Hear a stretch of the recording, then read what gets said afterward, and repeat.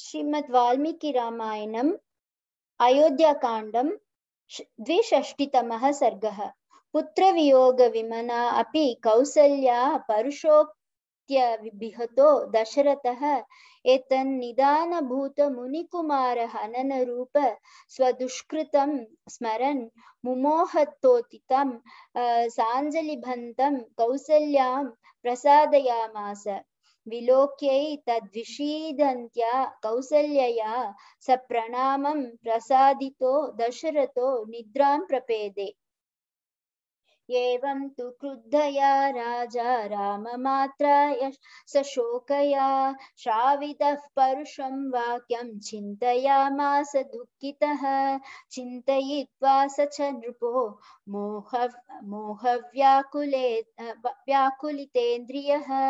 अत दीर्घेण कालेन संज्ञामाप परन्तपः संज्ञामुपलभ्यैव दीर्घमुष्णं च निःश्वसन्।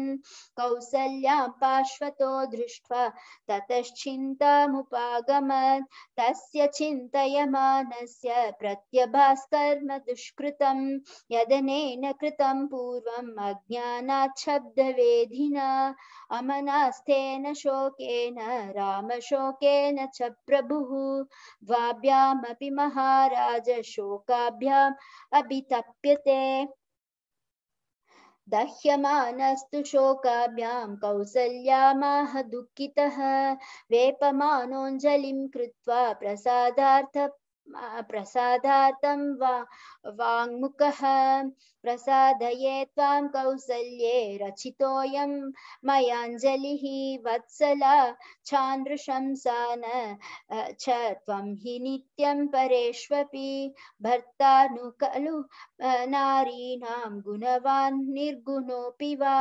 धर्मां विमृशमानानां प्रत्यक्षं देवि दैवतं, सा त्वं धर्मपरा नित्यं दृष्टलोकपरावरा नार्हसे विप्रियं वक्तुं दुःखितापि सुदुःखितं तद्वाक्यं करुणं राज्ञ श्रुत्वा दीनस्य भाषितं कौसल्या व्यसृजत् बाष्पं प्रणा, प्रणालीव नवोदकम् सा मूर्ध्नि बद्ध्वा रुदति राज्ञः पद्म, पद्ममिवाञ्जलिं सम्भ्रामदब्रवीत् त्रस्ता त्वरमानाक्षरं वचः, प्रसीद शिरसा याचे, भूमौ निपतितास्मि ते, याचितास्मि हता देव क्षन्तव्याहं न हि त्वया नैषा हि शास्त्री भवति, श्लाघनीयेन धीमता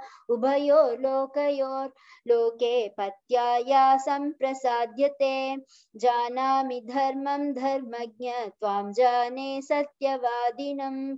पुत्रशोकार्तया तत्तु मया किमपि भाषितं।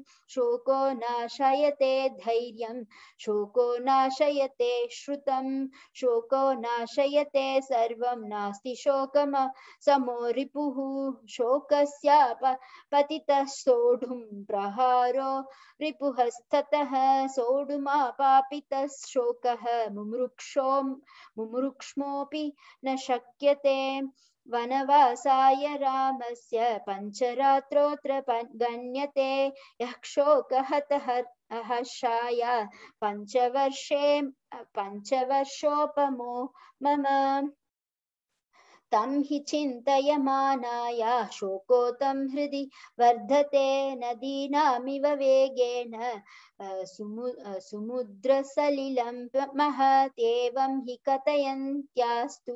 कौसल्याया शुभं वचः मन्दरश्मिरभूत् सूर्यो रजनी चाभ्यवर्तत अत प्रह्लादितो वाक्यैर्देव्या कौसल्यया नृपः शोकेन च समाक्रान्तो निद्राया वशमेयिवान् इत्याशे श्रीमद् रामायणे वाल्मीकिये आदिकाव्ये अयोध्याकाण्डे द्विषष्टितमः सर्गः।